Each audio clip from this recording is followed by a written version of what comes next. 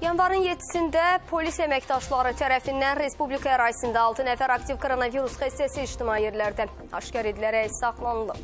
Daxili İşlər Nazirliyindən verilən məlumata görə polis əməkdaşları COVID-19 virusuna yoluxaraq ev şəraitində müalicədə olmasına baxmayaraq yaşadığı evləri tərk etmiş həmin şəxslərlə izah edici söhbətlər aparıb, tibbi prosedurları gözləməklə yaşadığı evlərə qaytarıb və bu barədə müvafiq səhiyyə qurumları məlumatlandırılıb.